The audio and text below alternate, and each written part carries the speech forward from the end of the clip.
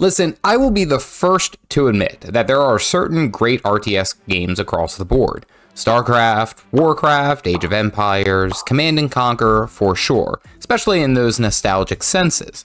But in my mind, Age of Mythology takes the cake. And no, it is not because I have a personal attachment to the game.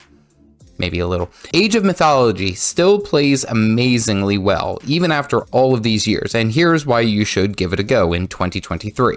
First reason, right out the gate, is that it is a fast paced RTS. I understand some players are strategy game enjoyers like the slower, methodical 4X games like Civ, Northgard, heck, even Dune Spice Wars to some degree. And Age of Mythology having a fast paced RTS style isn't necessarily unique to them. However, I feel that they do it incredibly well with this game and how you can develop not only your city as well as your technology and everything in between, you can min max everything in this game to push out units quickly and even micro those units in and out of harm's way. Now, this isn't to say that the game doesn't have its downtime or its slower periods, especially when you are in the beginning stages of your matches, but overall, there is more than enough to do when the game is not busy versus a fast-paced endgame where you are trying to control an entire army, take down key enemy units while also dodging god powers, myth units, and heroes. The second reason is the mythological lore. It may be kind of a joke, uh, because this is what the game is based off of, is old mythology stories and things of that sort.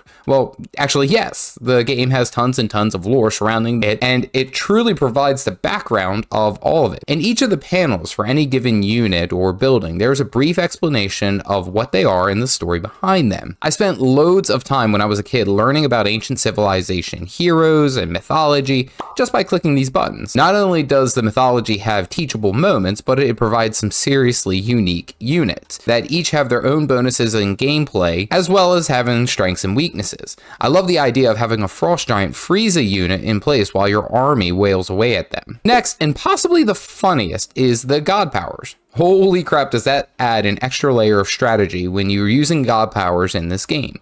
I have had literally these powers turn the tide of a fight, or a siege, or provide an economic boost when utilizing the power right at the beginning. These god powers range from simple civilization bonuses to summoning a literal dragon into combat. Truth of the matter is, that these powers can be used in creative and different ways to get an advantage against your enemies, and sometimes can even stack together to create some really deadly combinations.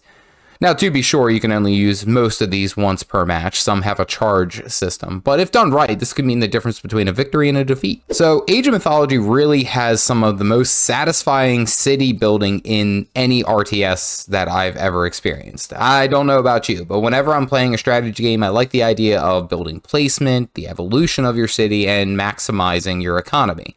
Placing a few walls and a couple of towers strikes just the right chord when it comes to setting up your base against the incoming masses. What Age of Mythology does right, also in my opinion, is upgrading of buildings as you advance through the ages.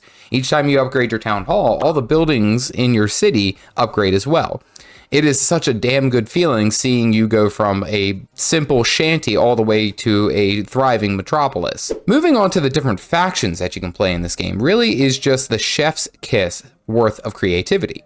You have the Greeks, Egyptian, Norse, Atlantean, and Chinese. Atlantean and Chinese are tied to expansions, but they all have their unique strengths and weaknesses. For example, the Norse have some really strong myth units whereas Atlanteans have very unique creatures that they can field. On top of that, they all roughly function the same way across the board, so if you get skilled at one, you pretty much have a decent working knowledge of the others. Having said that, each of these factions have their own nuances in different playstyles. For example, the Egyptians rely heavily on gold, whereas it can be argued that the Norse have incredibly strong myth units that take the cake, or the Greeks have some of the best heroes in game. It would take some time to sit down and play through all of these different factions to truly understand all their individual differences with depth, but they are all intriguing in on their own right and provide some really unique gameplay. Speaking of those different factions, you get to have a taste of most of them through the campaigns, which is arguably some of the best campaigns in any RTS out there. For the most part, you follow Arkantos through his wild journey across different mythological backgrounds to provide not only a great tutorial, but some pretty challenging missions. Not only that, they tie in the individual lore with some of the myth units, as well as understanding the characters from old mythology in a very interesting way. Oh, and what happens after you beat the campaign and finish the story? Infinite replayability with the different randomized matches and custom gameplay.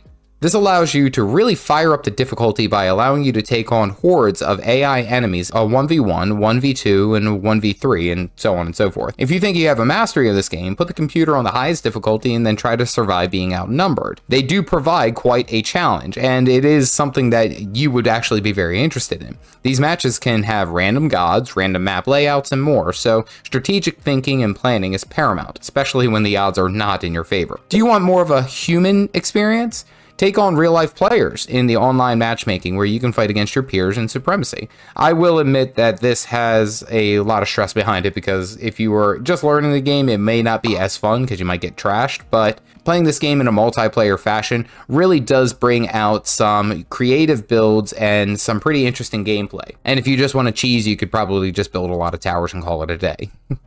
Lastly, coming soon with this great franchise is a remake or a new story, or, we we really aren't quite sure, but probably a remake of the game. Now, certainly there really hasn't been much to talk about on this topic recently, aside from the announcement trailer that came out a while, and that was it, zilch. But I believe in the near future we will have more information on what they're planning on doing with this great game and this storied RTS, and I think that's a great reason to play it now to get a better understanding of when it comes out later.